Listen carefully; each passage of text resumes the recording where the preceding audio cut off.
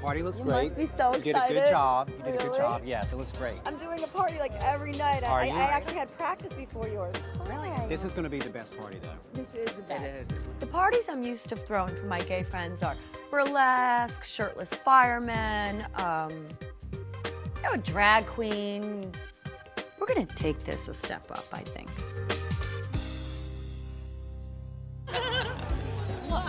This is going to be so great. Um, What's Sonja in the City about? Can you tell me a Well, little about it? Sonja in the City is my catering company, Okay. and we do special events like this. Tonight I'm going to a party Sonja's having for two friends of hers. Everyone knows the Beekman boys.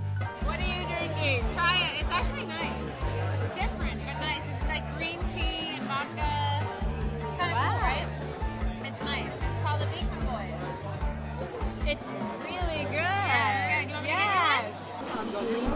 Are you? Good. Welcome to the sanctuary. Well, this is a very pretty setup. I love this. Ah, you'll love it once you get in. Really? Fantastic. Ramona, where is she? Ramona! Here. All right, wait, wait, take one together. Yes. Come on. I would never go home without sorry. Beautiful, right here. Don't be sorry. You know, when I was younger, it was fine, you know, but now I'm just thinking more. Once I get up there and I'll be psyched to be doing it and be active, but I'm gonna do like a beach vacation actually in March. I'm gonna do the reverse of what you said. But I'm ready. I am jealous. The margarita and sand sounds good. A little Hawaiian Be oil. like that Corona commercial, you know? Yeah, yeah. For some reason, I don't think it'll be silent though. We're really running late, but I'm okay. So I'm sorry. I'm sorry. Make the announcement. so sorry. We're gonna do the So hits in the sorry. back. Then you and I are gonna turtle talk.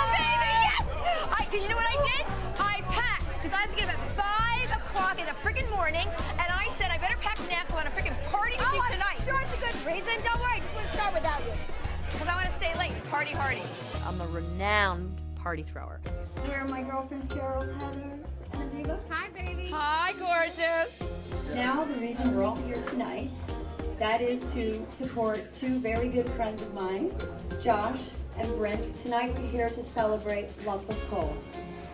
Now, everyone in this room, I know you all pretty well, and you're all going to get a lump of coal in your stocking. so here they are to talk to you about their product tonight.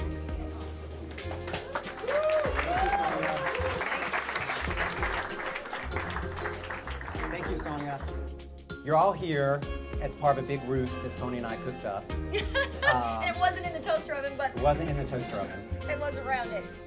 I designed this ring, and it's got a lot of significance to it. First, it's imperfect on all sides, just like both of us are imperfect. And then, just like our 13 year relationship, it's lined with silver because we always find the silver lining.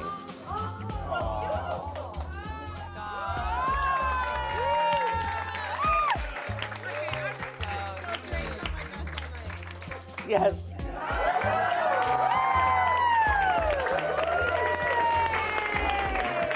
When I hear that Brent is finally going to propose to Josh, I'm like, woohoo! This has been a long time coming. He was like shocked. He was surprised. You were surprised, right? You had no idea.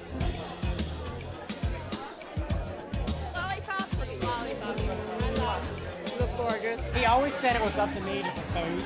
I did. That Ah, It was really up to me, but that's okay. It took you a long time. Well, just in legal.